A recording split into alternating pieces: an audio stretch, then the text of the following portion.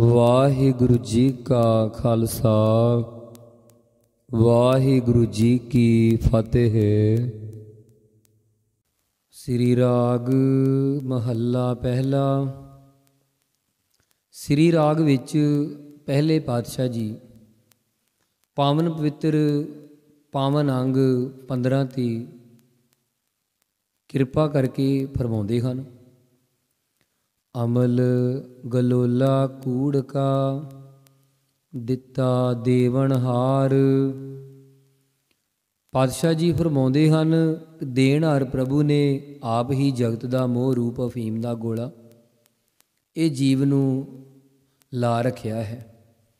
ਕਹਿਣ ਤੋਂ ਭਾਵ ਕਿ ਮੋਹ ਦਾ ਜਿਹੜਾ ਇਹ ਮਿੱਠਾ ਸਵਾਦ ਹੈ, ਇਹ ਪਰਮੇਸ਼ਰ ਨੇ ਹੀ ਲਾਇਆ ਹੈ। ਤੀਸਰੇ ਪਾਤਸ਼ਾਹ ਧੰਨ ਗੁਰੂ ਅਮਰਦਾਸ ਮਹਾਰਾਜ ਜੀ। ਪਾਵਨ ਪਵਿੱਤਰ ਨਿਤਨੇਮ ਦੀ ਪੰਜਵੀਂ ਬਾਣੀ ਵਿੱਚ ਫਰਮਾਉਂਦੇ ਹਨ, ਪਾਤਸ਼ਾਹ ਫਰਮਾਉਂਦੇ ਹਨ, ਕੁਰਬਾਨ ਕੀਤਾ ਤਿਸੈ ਵਿਟੋ ਜਿਨ ਮੋਹ ਮੀਠਾ ਲਾਇਆ। ਮਤੀ ਮਰਨ ਵਿਸਾਰਿਆ, ਖੁਸ਼ੀ ਕੀਤੀ ਦਿਨ ਚਾਰ ਇਸ ਮੋਹ ਅਫੀਮ ਅਮਲ ਨੂੰ ਖਾ ਕੇ ਮਸਤ ਹੋਈ ਜਿੰਦ ਨੇ ਮੌਤ ਭੁਲਾ ਦਿੱਤੀ ਹੈ। ਇਹ ਇੰਨਾ ਮਿੱਠਾ ਹੈ ਕਿ ਇਹ ਬੰਦਾ 4 ਦਿਨ ਜ਼ਿੰਦਗੀ ਵਿੱਚ ਰੰਗ ਰਲੀਆਂ ਮਾਣਦਾ ਫਿਰਦਾ ਹੈ। ਮੌਤ ਦਾ ਉੱਕਾ ਹੀ ਚੇਤਾ ਭੁਲਾ ਦਿੱਤਾ ਹੈ। ਸੱਚ ਮਿਲਿਆ, ਤਿੰਨ ਸੋਫੀਆ ਰਾਖਣ ਕੋ ਦਰਬਾਰ ਪਾਤਸ਼ਾਹ ਜੀ ਫਰਮਾਉਂਦੇ ਹਨ ਕਿ ਜਿਨ੍ਹਾਂ ਨੇ ਮੋਹ ਨਸ਼ਾ ਛੱਡ ਕੇ ਪਰਮਾਤਮਾ ਦਾ ਦਰ ਮੱਲਣ ਦਾ ਆਹਰ ਕੀਤਾ, ਉਹਨਾਂ ਨੂੰ ਸਦਾ ਥਿਰ ਰਹਿਣ ਵਾਲਾ ਪ੍ਰਭੂ ਮਿਲ ਪਿਆ। ਨਾਨਕ ਸਾਚੇ ਕਉ ਸੱਚ ਜਾਣ। हे ਨਾਨਕ, ਸਦਾ ਕਾਇਮ ਰਹਿਣ ਵਾਲੇ ਪਰਮਾਤਮਾ ਨਾਲ ਸੱਚੀ ਸਾਂਝ ਬਣਾ। ਜਿਤ ਸੇਵਿਐ, ਸੁਖ ਪਾਈਐ। ਤੇਰੀ ਦਰਗਹਿ ਚੱਲੈ ਮਾਣ ਰਹਾਉ। ਜਿਸ ਦਾ ਸਿਮਰਨ ਕੀਤਿਆਂ ਸੁਖ ਮਿਲਦਾ ਹੈ, ਤੇ ਅਰਦਾਸ ਕਰਕੇ हे ਪ੍ਰਭੂ, ਆਪਣਾ ਨਾਮ ਦੇ, ਜਿਸ ਕਰਕੇ ਤੇਰੀ ਹਜ਼ੂਰੀ ਵਿੱਚ ਆਦਰ ਮਿਲ ਸਕੇ ਰਹਾਉ। ਵਿਸਰਾਮ ਦੇ ਕਰਕੇ ਸਤਿਗੁਰੂ ਜੀ ਫਰਮਾਉਂਦੇ ਹਨ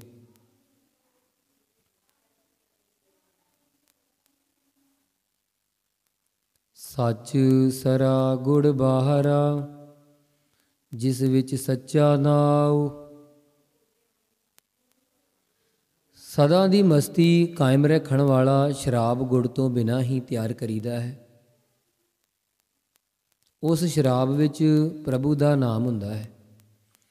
ਪ੍ਰਭੂ ਦਾ ਨਾਮ ਹੀ ਸ਼ਰਾਬ ਹੈ, ਜੋ ਦੁਨੀਆ ਵੱਲੋਂ ਬੇਪਰਵਾਹ ਕਰ ਦਿੰਦਾ ਹੈ। ਨਾਮ ਵਿੱਚ ਪ੍ਰਵਾਹ ਇੰਨੀ ਬਖਸ਼ਿਸ਼ ਹੈ ਕਿ ਉਸ ਨੂੰ ਜਪਣ ਵਾਲੇ ਬੇਪਰਵਾਹ ਹੋ ਜਾਂਦੇ ਹਨ। ਪਾਤਸ਼ਾਹ ਜੀ ਆਸਾ ਜੀ ਦੀ ਵਾਰ ਵਿੱਚ ਜ਼ਿਕਰ ਕਰਦੇ ਹਨ ਕਿ ਰੰਗ ਹੱਸੈ, ਰੰਗ ਰੋਵੈ ਚੁੱਪ ਭੀ ਕਰ ਜਾਹੇ, ਪ੍ਰਵਾਹ ਨਾਹੀ ਕਿਸੈ ਕੇਰੀ, ਬਾਜ ਸੱਚੇ ਨਾਹ। ਸੁਣ ਹੈ ਵਖਾਣ ਹੈ ਜੇਤੜੇ, ਹਉ ਤਿਨ ਬਲ ਹਾਰੈ ਜਾਉ ਮੈਂ ਉਹਨਾਂ ਬੰਦਿਆਂ ਤੋਂ ਸਦਕੇ ਜਾਂਦਾ ਹਾਂ, ਜੋ ਪ੍ਰਭੂ ਵਾਹਿਗੁਰੂ ਜੀ ਦਾ ਨਾਮ ਸੁਣਦੇ ਅਤੇ ਆਪਣੇ ਪਾਵਨ ਮੁਖ ਮੰਡਲ ਤੋਂ ਉਚਾਰਦੇ ਹਨ। ਤਾ ਮਨ ਖੀਵਾ ਜਾਣੀਐ, ਜਾ ਮਹਿਲੀ ਪਾਏ ਥਾਉ ਮਨ ਨੂੰ ਤਦੋਂ ਹੀ ਮਸਤ ਹੋਇਆ ਜਾਣੋ ਜਦੋਂ ਇਹ ਪ੍ਰਭੂ ਦੀ ਯਾਦ ਵਿੱਚ ਟਿਕ ਜਾਵੇ ਤੇ ਮਨ ਟਿਕਦਾ ਹੈ ਸਿਮਰਨ ਦੀ ਬਰਕਤ ਨਾਲ। ਨਾਉ ਨੀਰ ਚੰਗਿਆਈਆਂ, ਸਤ ਪਰਮਲ ਤਨ ਵਾਸ। ਵਾਹਿਗੁਰੂ ਜੀ ਦਾ ਨਾਮ ਤੇ ਸਿਫਤ ਸਲਾਹ ਹੀ ਮੂੰਹ ਉਜਲਾ ਕਰ ਲਈ ਪਾਣੀ ਹੈ ਤੇ ਵਾਹਿਗੁਰੂ ਜੀ ਦੀ ਸਿਫਤ ਸਲਾਹ ਦੀ ਬਰਕਤ ਨਾਲ ਬਣਿਆ ਹੋਇਆ ਸੁੱਚਾ ਆਚਰਨ ਸਰੀਰ ਉਤੇ ਲਾਉਣ ਵਾਸਤੇ ਸੁਗੰਧੀ ਹੈ। ਉਸ ਦੇ ਪਿਆਰੇ ਭਗਤ ਜਨ, ਉਹਨਾਂ ਨੂੰ ਕੋਈ ਬਾਹਰਲੀਆਂ ਸੁਗੰਧੀਆਂ ਦੀ ਲੋੜ ਨਹੀਂ ਪੈਂਦੀ। ਉਹਨਾਂ ਦੇ ਕੋਲੋਂ ਨਾਮ ਦੀਆਂ ਮਹਿਕਾਂ ਆਉਂਦੀਆਂ ਹਨ। ਤਾ ਮੁਖ ਹੋਵੇ ਉਜਲਾ, ਲੱਖ ਦਾਤੀ ਇੱਕ ਦਾਤ। ਪਰਮਾਤਮਾ ਦਾ ਨਾਮ ਤੇ ਸਿਫਤ ਸਲਾਹ ਹੋਰ ਸਭ ਦਾਤਾਂ ਨਾਲੋਂ ਵਧੀਆ ਦਾਤ ਹੈ। ਸਿਫਤ ਸਲਾਹ ਨਾਲ ਹੀ ਮਨੁੱਖ ਦਾ ਮੂੰਹ ਸੋਹਣਾ ਲੱਗਦਾ ਹੈ।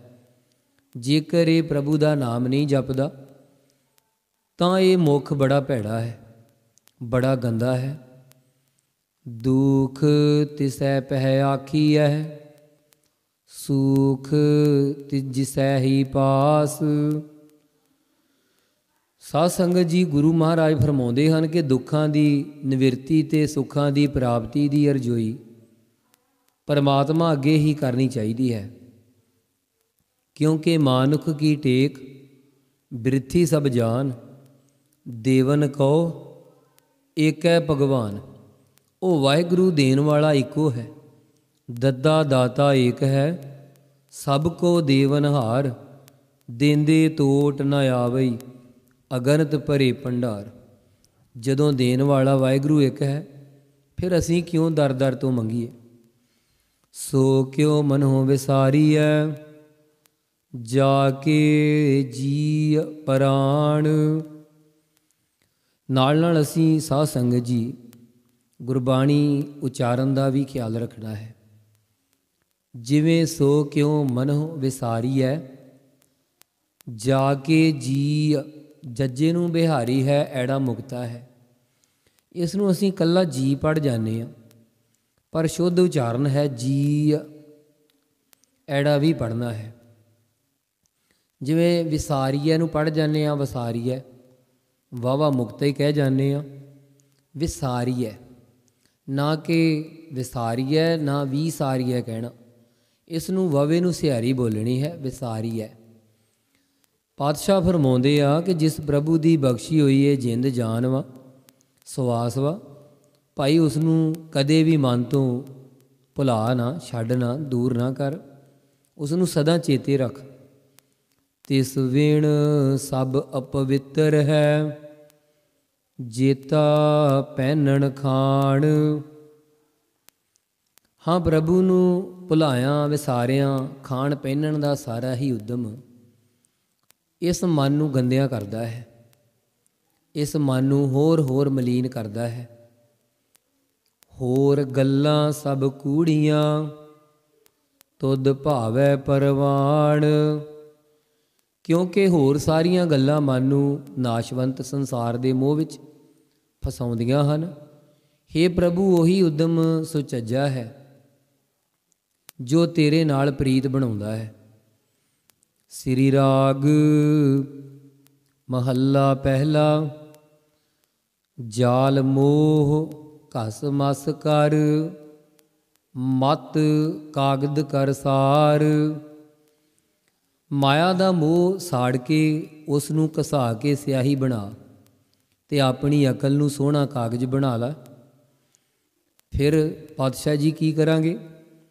ਭਾਉ ਕਲਮ ਕਰ ਚਿਤ ਲੇਖਾਰੀ, ਗੁਰ ਪੁੱਛ ਲਿਖ ਵਿਚਾਰ। ਪਾਤਸ਼ਾਹ ਕਹਿੰਦੇ ਆ, ਫਿਰ ਉਸ ਕਾਗਜ਼ ਉੱਤੇ ਪ੍ਰੇਮ ਨੂੰ ਕਲਮ ਤੇ ਆਪਣੇ ਮਨ ਨੂੰ ਲਿਖਾਰੀ ਬਣਾ। ਗੁਰੂ ਦੀ ਸਿੱਖਿਆ ਲੈ ਕੇ ਪ੍ਰਮਾਤਮਾ ਦੇ ਗੁਣਾਂ ਦੀ ਵਿਚਾਰ ਕਰਨੀ ਲਿਖ ਲਿਖ ਨਾਮ, ਸਾਲਾਹ ਲਿਖ ਲਿਖ ਅੰਤ ਨ ਪਾਰਾਵਾਰ। ਪ੍ਰਭੂ ਦਾ ਨਾਮ ਲਿਖ ਤੇ ਪ੍ਰਭੂ ਦੀ ਫਿਰ ਸਿਫਤ ਸਲਾਹ ਲਿਖ। ਇਹ ਲਿਖ ਕੇ ਪ੍ਰਭੂ ਦੇ ਗੁਣਾਂ ਦਾ ਅੰਤ ਨਹੀਂ ਪੈ ਸਕਦਾ। ਉਸ ਦਾ ਪਾਰਲਾ ਤੇ ਉਰਲਾ ਬੰਨਾ ਨਹੀਂ ਲੱਭ ਸਕਦਾ ਤੇ ਨਾ ਦੱਸਿਆ ਜਾ ਸਕਦਾ ਹੈ। ਬਾਬਾ, ਇਹੋ ਲੇਖਾ ਲਿਖ ਜਾਣ। ਹੇ ਭਾਈ, ਹੇ ਮੇਰੇ ਮਿੱਤਰ, ਇਹ ਲੇਖਾ ਲਿਖਣ ਦੀ ਜਾਚ ਸਿੱਖ ਲੈ। ਜਿੱਥੈ ਲੇਖਾ ਮੰਗੀਐ, ਤਿੱਥੈ ਹੋਏ ਸੱਚਾ ਨੀਸਾਨ, ਰਹਾਉ। ਹਾਂ, ਜਿਸ ਥਾਂ ਤੇ ਜ਼ਿੰਦਗੀ ਵਿੱਚ ਕੀਤੇ ਕੰਮਾਂ ਦਾ ਹਿਸਾਬ ਮੰਗਿਆ ਜਾਂਦਾ ਨਾ, ਉਥੇ ਲੇਖਾ ਸੱਚੀ ਰਾਹਦਾਰੀ ਬਣਦਾ ਹੈ। ਰਹਾਉ ਬਿਸਰਾਮ ਦੇ ਕੇ ਜਗਤ ਗੁਰੂ ਧੰਨ ਗੁਰੂ ਨਾਨਕ ਪਾਤਸ਼ਾਹ ਜੀ ਮਿਹਰ ਕਰ ਰਹੇ ਹਨ। ਜਿੱਥੈ ਮਿਲਹਿ ਵਡਿਆਈਆਂ ਸਦ ਖੁਸ਼ੀਆਂ ਸਦ ਚਾਉ। ਜਿੱਥੇ ਉਹਨਾਂ ਨੂੰ ਵਡਿਆਈਆਂ ਮਿਲਦੀਆਂ ਹਨ, ਉਹਨਾਂ ਨੂੰ ਸਦਾ ਦੀਆਂ ਖੁਸ਼ੀਆਂ ਤੇ ਆਤਮ ਹੁਲਾਰੇ ਮਿਲਦੇ ਹਨ। ਤਿੰਨ ਮੁਖ ਟਿਕੇ ਨਿਕਲੈ ਜਿਨ ਮਨ ਸੱਚਾ ਨਾਉ। ਹਾਂ, ਜਿਨ੍ਹਾਂ ਮਨੁੱਖਾਂ ਦੇ ਮਨ ਵਿੱਚ ਪ੍ਰਭੂ ਦਾ ਸਦਾ ਥਿਰ ਨਾਮ ਵਸਦਾ ਨਾ ਤੇ ਲੇਖਾ ਮੰਗਣ ਵਾਲੇ ਥਾਂ ਉਹਨਾਂ ਦੇ ਮੂੰਹ ਤੇ ਟਿੱਕੇ ਲੱਗਦੇ ਹਨ। ਕਿਉਂਕਿ ਨਿਸ਼ਾਨ ਲਾਏ ਜਾਂਦੇ ਆ ਕਿ ਇਹਨਾਂ ਨੇ ਨਾਮ ਜਪਿਆ, ਸਤਕਾਰ ਵਜੋਂ ਟਿੱਕੇ ਲੱਗਦੇ ਆ। ਕਰਮ ਮਿਲੈ ਤਾਂ ਪਾਈਐ, ਨਾਹੀ ਗੱਲੀ ਵਾਉ ਦੁਆਉ। ਪਰ ਪ੍ਰਭੂ ਵਾਹਿਗੁਰੂ ਜੀ ਦਾ ਨਾਮ ਪ੍ਰਭੂ ਦੀ ਮਿਹਰ ਨਾਲ ਮਿਲਦਾ ਹੈ। ਹਵਾਈ ਫਜ਼ੂਲ ਗੱਲਾਂ ਨਾਲ ਨਹੀਂ ਮਿਲਦਾ। ਇੱਕ ਆਵਹਿ, ਇੱਕ ਜਾਹੇ ਉਠ ਰੱਖੀ ਇਹ ਨਾਵ ਸਲਾਰ। ਸੰਸਾਰ ਵਿੱਚ ਬੇਅੰਤ ਜੀਵ ਆਉਂਦੇ ਹਨ ਤੇ ਜੀਵਨ ਸਫਰ ਆਪਣਾ ਮੁਕਾ ਕੇ ਇਥੋਂ ਤੁਰ ਜਾਂਦੇ ਹਨ, ਕੂਚ ਕਰ ਜਾਂਦੇ ਹਨ। ਕਈਆਂ ਦੇ ਸਰਦਾਰ ਆਦਿਕ ਵੱਡੇ ਵੱਡੇ ਨਾਮ ਰੱਖੀਦੇ ਹਨ। ਇੱਕ ਉਪਾਏ ਮੰਗਤੇ, ਇੱਕ ਨਾ ਵੱਡੇ ਦਰਬਾਰ। ਪਾਤਸ਼ਾਹ ਜੀ ਫਰਮਾਉਂਦੇ ਹਨ ਕਿ ਕਈ ਜਗਤ ਵਿੱਚ ਮੰਗਤੇ ਹੀ ਜੰਮੇ। ਕਈਆਂ ਦੇ ਵੱਡੇ ਵੱਡੇ ਦਰਬਾਰ ਲੱਗਦੇ ਹਨ। ਅੱਗੇ ਗਿਆ ਜਾਣੀਐ, ਵਿਣ ਨਾਵੇ ਵੇਕਾਰ। ਪਰ ਦਰਬਾਰਾਂ ਵਾਲੇ ਸਰਦਾਰ ਹੋਣ ਚਾਹੇ ਕੰਗਾਲ ਹੋਣ, ਜੀਵਨ ਸਫਰ ਮੁਕਾਇਆ ਸਮਝ ਆਉਂਦੀ ਹੈ ਕਿ ਪ੍ਰਮਾਤਮਾ ਦਾ ਨਾਮ ਸਿਮਰਨ ਤੋਂ ਬਿਨਾ ਇਹ ਸਭ ਜੀਵਨ ਵਿਅਰਥ ਅਸੀਂ ਗਵਾ ਜਾਂਦੇ ਹਾਂ। ਭੈ ਤੇਰੇ ਡਰ ਅਗਲਾ, ਖਪ ਖਪ ਸਿਜੈ ਦੇਹ। ਪਾਤਸ਼ਾਹ ਜੀ ਫਰਮਾ ਰਹੇ ਹੈ ਪ੍ਰਭੂ, ਤੇਥੋਂ ਦੂਰ ਦੂਰ ਰਿਆਂ ਸੰਸਾਰ ਦਾ ਤੌਖਲਾ। ਸੰਸਾਰ ਦਾ ਡਰ ਬਹੁਤ ਭਿਆਨਕ ਵਿਆਪਦਾ ਹੈ। ਬੜਾ ਡਰ ਲੱਗਦਾ ਸੰਸਾਰ ਤੋਂ। ਆਪਣੇ ਘਰ ਦੇ ਜੀਆਂ ਤੋਂ ਬੰਦਾ ਡਰ ਲੱਗ ਜਾਂਦਾ। ਇਸ ਤੌਖਲੇ ਵਿੱਚ ਖਿਜ ਖਿਜ ਕੇ ਸਰੀਰ ਵੀ ਢੈਂਦਾ ਜਾਂਦਾ ਹੈ। ਨਾਵ ਜਿਨਾ ਸੁਲਤਾਨ ਖਾਨ, ਹੋਦੇ ਡਿਠੇ ਖੇਹ। ਹਾਂ, ਤੇਰੇ ਨਾਮ ਤੋਂ ਬਿਨਾ, ਤੇਰੀ ਯਾਦ ਤੋਂ ਬਿਨਾ ਮਾਇਆ ਦਾ ਵੀ ਕੀ ਮਾਣ ਹੈ? ਜਿਨ੍ਹਾਂ ਦੇ ਨਾਮ ਨਾਲ ਖਾਨ ਲੱਗਾ ਸੀ, ਵੱਡੇ ਵੱਡਾ ਸੁਲਤਾਨ ਨਾਮ ਲੱਗਾ ਸੀ, ਉਹ ਜਿਹੜੇ ਇਹੋ ਜਿਹੇ ਨਾਮਾਂ ਕਰਕੇ ਵੱਜਦੇ ਸਨ, ਸੁਣੀਦੇ ਸਨ, ਉਹ ਸਭ ਇੱਥੇ ਹੀ ਮਿੱਟੀ ਵਿੱਚ ਮਿਲ ਗਏ ਤੇ ਮਿਲ ਜਾਂਦੇ ਹਨ। ਨਾਨਕ ਉੱਠੀ ਚੱਲਿਆ, ਸਭ ਕੂੜੇ ਟੁੱਟੇ ਨੇਹ। ਹੇ ਨਾਨਕ, ਜਗਤ ਤੋਂ ਤੁਰਨ ਵੇਲੇ ਸਾਰੇ ਝੂਠੇ ਮੋਹ ਪਿਆਰ ਮੁੱਕ ਜਾਂਦੇ ਹਨ। ਸ੍ਰੀ ਰਾਗ ਮਹੱਲਾ ਪਹਿਲਾ, ਸਭ ਰਸ ਮਿੱਠੇ ਮੰਨਿਐ, ਸੁਣਿਐ ਸਾਲੂਣੇ ਸਾਲੂਣੇ ਕਹਿੰਦੇ ਹਨ ਲੂਣ ਵਾਲਿਆਂ ਨੂੰ ਤੇ ਰਸ ਕਹਿੰਦੇ ਹਨ ਸਵਾਦ ਨੂੰ।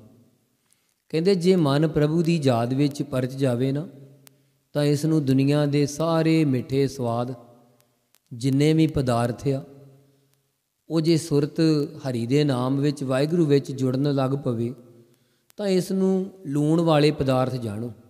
ਭਾਵ ਬੜੇ ਤੋ, ਉਹ ਫਿੱਕੇ ਲੱਗਦੇ ਆ, ਬੜੇ ਬੇਰਸੇ ਲੱਗਦੇ ਆ।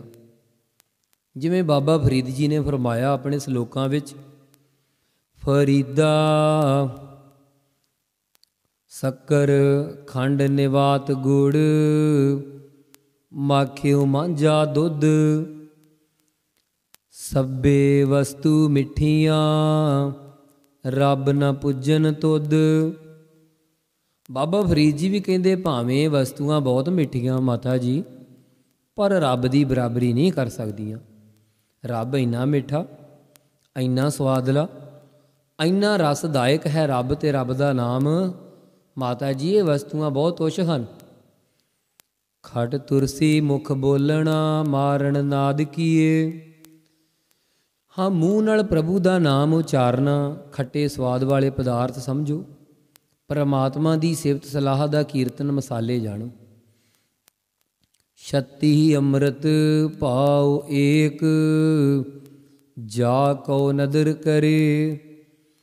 ਪਰਮਾਤਮਾ ਨਾਲ ਇੱਕ ਰਸ ਪ੍ਰੇਮ 36 ਕਿਸਮਾਂ ਦੇ ਸਵਾਦਲੇ ਭੋਜਨ ਹਨ। ਪਰ ਇਹ ਉੱਚੀ ਦਾਤ ਉਸੇ ਨੂੰ ਮਿਲਦੀ ਆ, ਜਿਸ ਉੱਤੇ ਪ੍ਰਭੂ ਮਿਹਰ ਦੀ ਨਜ਼ਰ ਕਰਦਾ ਹੈ। ਬਾਬਾ, ਹੋਰ ਖਾਣਾ ਖੁਸ਼ੀ ਖੁਆਰ। ਹੋਰ ਖਾਣਾ ਤਾਂ ਜਲੀਲ ਕਰਦਾ ਹੈ। हे ਭਾਈ, ਉਹਨਾਂ ਪਦਾਰਥਾਂ ਨੂੰ ਖਾਣ ਨਾਲ ਖੁਆਰ ਹੋਈਦਾ ਹੈ।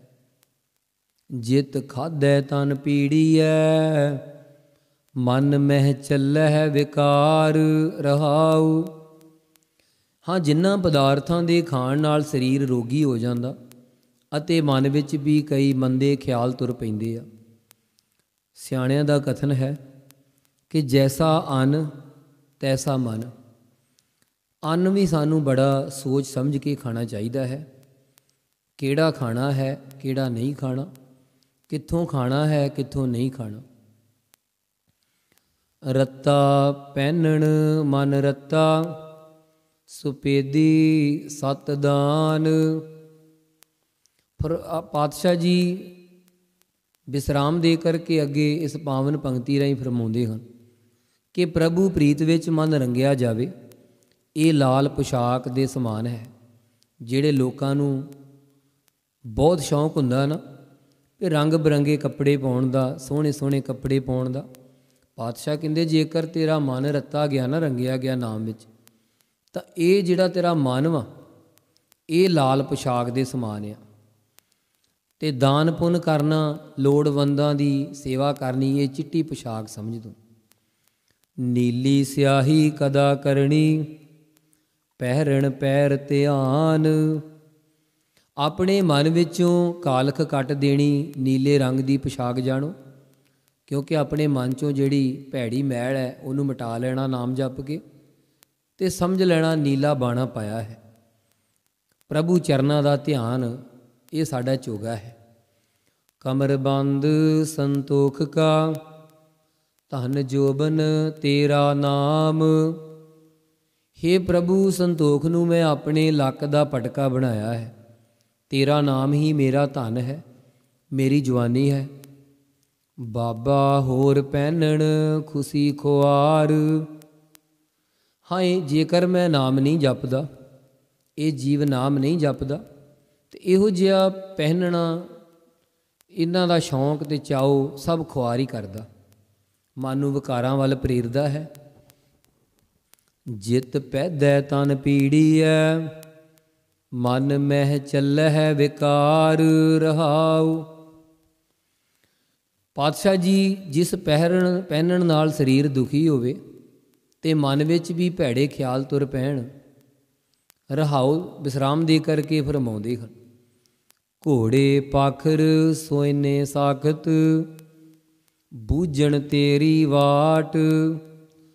हे ਪ੍ਰਭੂ, ਤੇਰੇ ਚਰਨਾਂ ਵਿੱਚ ਜੁੜਨ ਦਾ ਜੀਵਨ ਰਾਹ ਸਮਝਣਾ।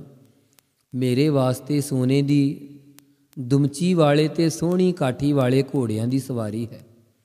ਸਮਝ ਲਵਾਂਗਾ ਕਿ ਮੈਂ ਘੋੜਿਆਂ ਦੀ ਸਵਾਰੀ ਕਰ ਲਈ ਹੈ। ਸਮਝ ਲਵਾਂਗਾ ਕਿ ਮੈਂ ਸਾਰੇ ਸੁੱਖਾਂ ਨੂੰ ਮਾਣ ਲਿਆ ਹੈ। ਜੇਕਰ ਮੈਂ ਨਾਮ ਜਪ ਲਿਆ ਹੈ।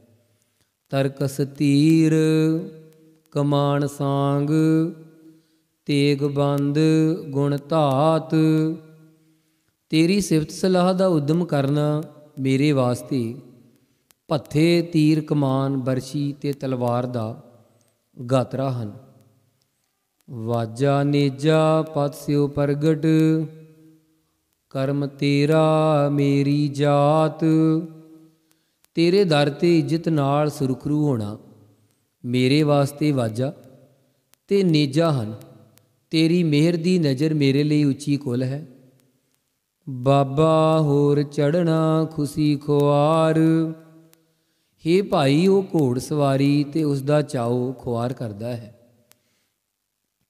ਜਿਤ ਚੜਿਆ ਤਨ ਪੀੜੀਐ, ਮਨ ਮਹਿ ਚੱਲਹਿ ਵਿਕਾਰ ਰਹਾਉ। ਜਿਸ ਘੋੜ ਸਵਾਰੀ ਕਰਨ ਨਾਲ ਸਰੀਰ ਔਖਾ ਹੋਵੇ, ਮਨ ਵਿੱਚ ਵੀ ਹੰਕਾਰ ਆਦਿਕ ਦੇ ਕਈ ਵਿਕਾਰ ਪੈਦਾ ਹੋ ਜਾਣ ਰਹਾਉ। ਵਿਸਰਾਮ ਦੇ ਕਰਕੇ ਸਤਿਗੁਰੂ ਕਿਰਪਾ ਕਰ ਰਹੇ ਹਨ। ਘਰ ਮੰਦਰ ਖੁਸ਼ੀ ਨਾਮ ਕੀ ਨਦਰ ਤੇਰੀ ਪਰਵਾਰ। हे ਪਾਤਸ਼ਾਹ ਜੀ, ਦੂਜਿਆਂ ਮਹਿਲ ਮਾੜੀਆਂ ਦਾ ਵਸੇਬਾ, ਮੇਰੇ ਵਾਸਤੇ ਤੇਰਾ ਨਾਮ ਜਪਣ ਤੋਂ ਪੈਦਾ ਹੋਈ ਖੁਸ਼ੀ ਹੀ ਹੈ। ਤੇਰੀ ਮਿਹਰ ਦੀ ਨਜ਼ਰ ਮੇਰਾ ਕੁਟੰਬ ਪਰਿਵਾਰ ਹੈ। ਜੋ ਖੁਸ਼ੀ ਮੈਨੂੰ ਆਪਣਾ ਪਰਿਵਾਰ ਦੇਖ ਕੇ ਹੁੰਦੀ ਹੈ, ਉਹੀ ਤੇਰੀ ਮਿਹਰ ਦੀ ਨਜ਼ਰ ਵਿੱਚੋਂ ਮਿਲੇਗੀ ਤੇ ਮਿਲ ਰਹੀ ਹੈ। ਹੁਕਮ ਸੋਈ ਤੁਧ ਭਾਵਸੀ ਹੋਰ ਆਖਣ ਬਹੁਤ ਅਪਾਰ। ਪਾਸੋਂ ਆਪਣਾ ਹੁਕਮ ਮਨਾਉਣਾ ਤੇ ਹੁਕਮ ਦੇ ਹੋਰ ਹੋਰ ਬੋਲ ਬੋਲਣੇ ਤੇ ਇਸ ਵਿੱਚ ਖੁਸ਼ੀ ਮਹਿਸੂਸ ਕਰਨੀ, ਇਹ ਮੇਰੇ ਵਾਸਤੇ ਤੇਰੀ ਰਜਾ ਵਿੱਚ ਰਾਜੀ ਰਹਿਣਾ ਹੈ।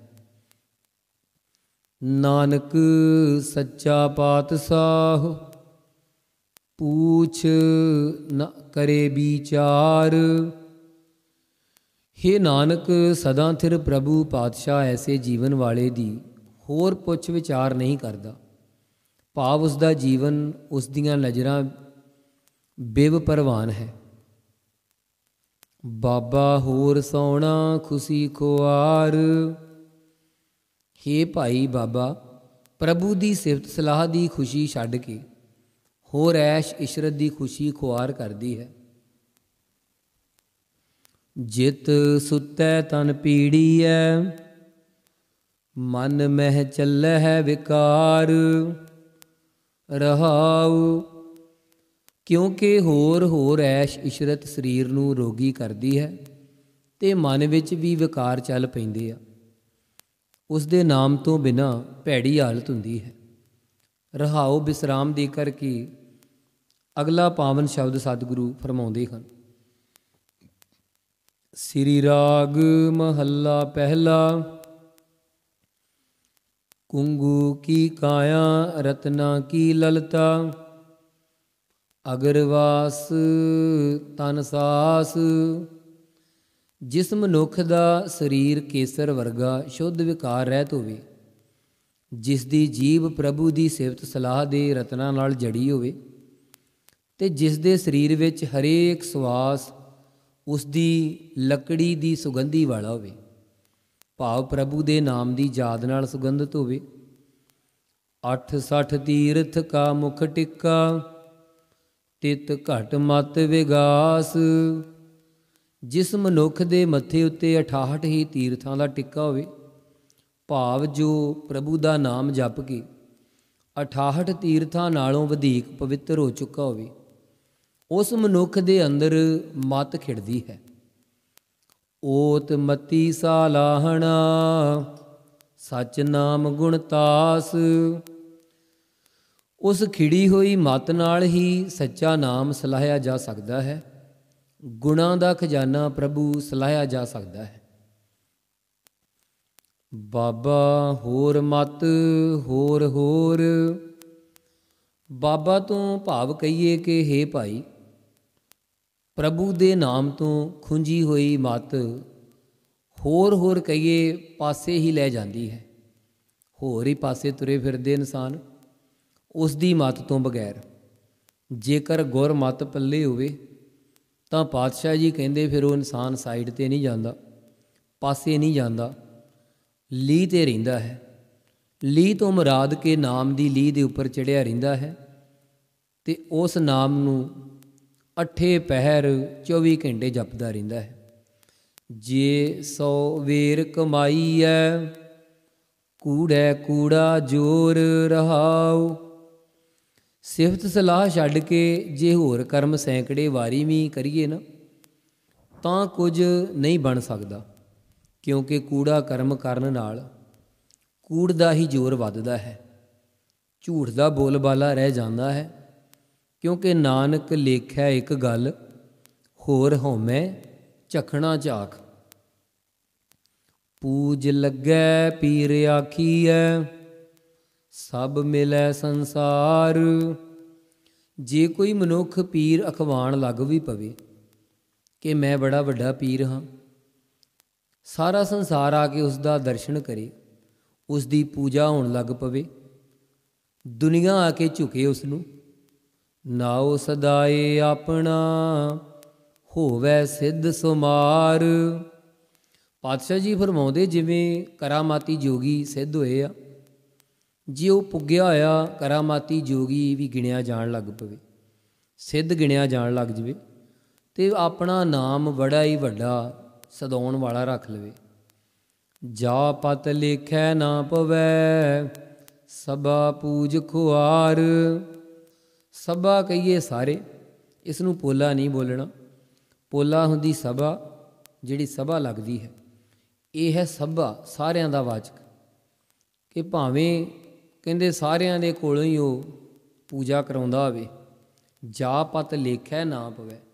ਕਹਿੰਦੇ ਤਾਂ ਵੀ ਇਹ ਸਭ ਕੁਝ ਕਿਸੇ ਦੇ ਅਰਥ ਨਹੀਂ, ਕਿਉਂਕਿ ਜੇ ਪ੍ਰਭੂ ਦੀ ਹਜ਼ੂਰੀ ਵਿੱਚ ਉਸ ਦੇ ਕੀਤੇ ਕਰਮਾਂ ਦਾ ਹਿਸਾਬ ਹੋਣ ਵੇਲੇ ਉਸ ਨੂੰ ਇੱਜ਼ਤ ਨਹੀਂ ਮਿਲਦੀ, ਤਾਂ ਦੁਨੀਆ ਵਿੱਚ ਹੋਈ ਸਾਰੀ ਪੂਜਾ ਖੁਆਰੀ ਕਰਦੀ ਹੈ।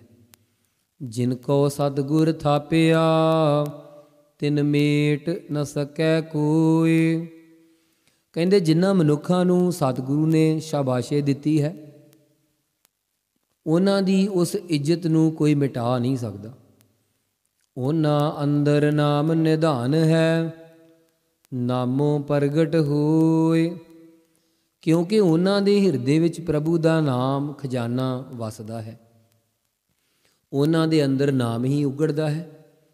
ਨਾਉ ਪੂਜੀਐ, ਨਾਉ ਮੰਨੀਐ, ਅਖੰਡ ਸਦਾ ਸੱਚ ਸੋਏ। ਇਹ ਪੱਕਾ ਨਿਯਮ ਜਾਣੋ ਕਿ ਪ੍ਰਭੂ ਦਾ ਨਾਮ ਹੀ ਪੂਜਿਆ ਜਾਂਦਾ ਹੈ, ਨਾਮ ਹੀ ਸਤਕਾਰਿਆ ਜਾਂਦਾ ਹੈ। ਪ੍ਰਭੂ ਦੀ ਸਦਾ ਇੱਕ ਰਸ, ਸਦਾ ਥਿਰ ਰਹਿਣ ਵਾਲਾ ਹੈ। ਪ੍ਰਭੂ ਹੀ ਸਾਰਿਆਂ ਦਾ ਸ਼੍ਰੋਮਣੀ ਹੈ। ਖੇਹੂ ਖੇਹ ਰਲਾਈਐ ਤਾ ਜੀਉ ਕਿਹਾ ਹੋਏ। ਜਿਨ੍ਹਾਂ ਮਨੁੱਖਾਂ ਨੇ ਕਦੇ ਨਾਮ ਨਹੀਂ ਨਾ ਜਪਿਆ, ਉਹਨਾਂ ਦਾ ਸਰੀਰ ਜਦੋਂ ਮਿੱਟੀ ਹੋ ਕੇ ਮਿੱਟੀ ਵਿੱਚ ਰਲਿਆ, ਤਾਂ ਨਾਮਹੀਣ ਜਿੰਦ ਦਾ ਹਾਲ ਭੈੜਾ ਹੀ ਹੁੰਦਾ ਹੈ। ਜਲੀਆਂ ਸਭ ਸਿਆਣਪਾਂ, ਉੱਠੀ ਚੱਲਿਆ ਰੋਏ। ਦੁਨੀਆ ਵਿੱਚ ਕੀਤੀਆਂ ਵਾਧੂ ਦੀਆਂ ਚਤਰਾਈਆਂ ਗੱਲਾਂ ਸਿਆਣਪਾਂ ਸਭ ਸੁਆਹ ਹੋ ਜਾਂਦੀਆਂ ਹਨ। ਜਗਤ ਤੋਂ ਜੀਵ ਫਿਰ ਦੁਖੀ ਹੋ ਕੇ ਹੀ ਤੁਰਦਾ ਹੈ। ਨਾਨਕ ਨਾਮ ਵਿਸਾਰਿਐ, ਦਰ ਗਿਆ ਕਿਆ ਹੋਏ? ਨਾਨਕ ਨਾਮ ਵਿਸਾਰਿਐ।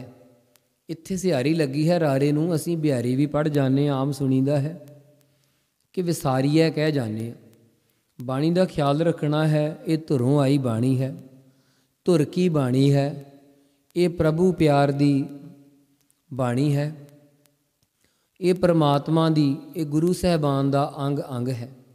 ਇਸ ਨੂੰ ਬੜਾ ਹੀ ਧਿਆਨ ਦੇ ਕੇ ਪੜ੍ਹਨਾ ਹੈ। ਹੈ ਤਾਂ ਅਸੀਂ ਭੁੱਲਣ ਹਾਰੇ ਹਾਂ, ਪਰ ਆਪਣਾ ਧਿਆਨ ਜ਼ਰੂਰ ਦੇਣਾ ਹੈ ਪੜਨ ਵਾਲੇ। ਨਾਨਕ ਨਾਮ ਵਿਸਾਰਿਐ, ਦਰ ਗਿਆ ਕਿਆ ਹੋਏ। ਇਸ ਪਾਵਨ ਪੰਕਤੀ ਜੋ ਸ੍ਰੀ ਰਾਗ ਵਿੱਚ ਪਹਿਲੇ ਪਾਤਸ਼ਾਹ ਜੀ ਦਾ ਪਾਵਨ ਪਵਿੱਤਰ ਇਸ 17 ਅੰਗ ਤੇ ਜੋ 8ਵਾਂ ਸ਼ਬਦ ਚੱਲ ਰਿਹਾ ਹੈ, ਇਸ ਦੀ ਵਿਚਾਰ ਅੱਜ ਅਸੀਂ ਇੱਥੇ ਹੀ ਸੰਪੂਰਨ ਕਰਦੇ ਹਾਂ। ਕੱਲ ਨੂੰ ਅਗਲੀ ਵਿਚਾਰ ਆਪ ਜੀ ਦੇ ਨਾਲ ਸਾਂਝੀ ਕਰਾਂਗੇ। ਹੇ ਨਾਨਕ, ਜੇ ਪ੍ਰਭੂ ਦਾ ਨਾਮ ਭੁਲਾ ਦਈਏ, ਤਾਂ ਪ੍ਰਭੂ ਦੇ ਦਰ ਤੇ ਪਹੁੰਚ ਕੇ ਭੈੜਾ ਹਾਲ ਹੀ ਹੁੰਦਾ ਹੈ। ਕਿਉਂਕਿ ਉਸ ਦੀ ਇਹ ਦੇਹ ਲੈ ਕੇ, ਸਰੀਰ ਲੈ ਕੇ, ਮਨ ਲੈ ਕੇ, ਤਨ ਲੈ ਕੇ, ਧਨ ਦੌਲਤਾਂ ਲੈ ਕੇ ਪ੍ਰਭੂ ਨੂੰ ਭੁਲਾ ਛੱਡਿਆ ਹੀ ਤੇਰੀ ਭੈੜੀ ਹਾਲਤ ਹੋਵੇਗੀ। ਵਾਹੇ ਗੁਰੂ ਵਾਹੇ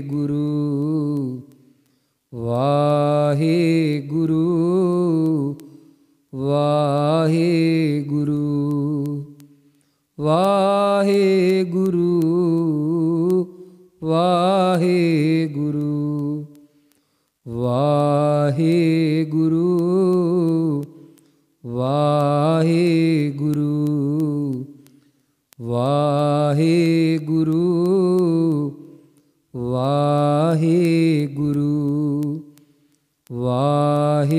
ਗੁਰੂ ਵਾਹੇ ਗੁਰੂ ਵਾਹੇ ਗੁਰੂ ਵਾਹੇ ਗੁਰੂ ਗੋਬਿੰਦੇ ਮੁਕੰਦੇ ਉਦਾਰੇ ਅਪਾਰੇ ਹਰਿਯੰ ਕਰਿਯੰ ਨਿਰਨਾਮੇ ਅਕਾਮੇ।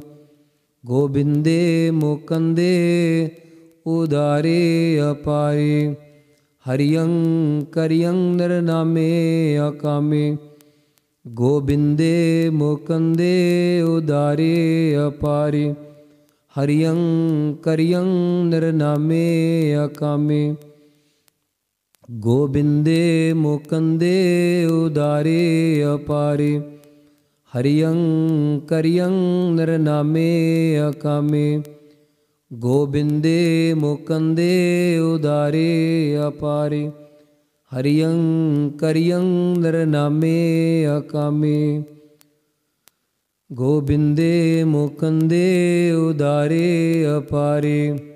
ਹਰਿਯੰ ਕਰਿਯੰ ਨਰਨਾਮੇ ਅਕਾਮੇ। ਦੁਕਾਲੰ ਪਰਣਾਸੀ ਦਇਆਲੰ ਸਰੂਪੇ। ਸਦਾ ਅੰਗ ਸੰਗੇ ਅਪੰਗੰ ਬੇਪੂਤੇ ਦੁਕਾਲੰ ਪਰਣਾਸੀ ਦਇਆਲੰ ਸਰੂਪੇ, ਸਦਾ ਅੰਗ ਸੰਗੇ ਅਪੰਗੰ ਬੇਪੂਤੇ ਸੋ ਸਾਧ ਸੰਗਤ ਜੀ, ਆਓ ਇਸ ਪਾਵਨ ਪਵਿੱਤਰ ਵਿਚਾਰ ਦੀਆਂ, ਇਸ ਪਾਵਨ ਸ਼ਬਦ ਦੀਆਂ ਅਖੀਰਲੀਆਂ ਪੰਕਤੀਆਂ ਨੂੰ ਪੜ੍ਹ ਕਰਕੇ ਫਤਿਹ ਬੁਲਾਈਏ ਜੀ। ਨਾਨਕ ਨਾਮ ਵਿਸਾਰਿਐ ਡਰ ਗਿਆ ਕਿਆ ਹੋਏ? ਵਾਹਿਗੁਰੂ ਜੀ ਕਾ ਖਾਲਸਾ ਵਾਹਿਗੁਰੂ ਜੀ ਕੀ ਫਤਿਹ।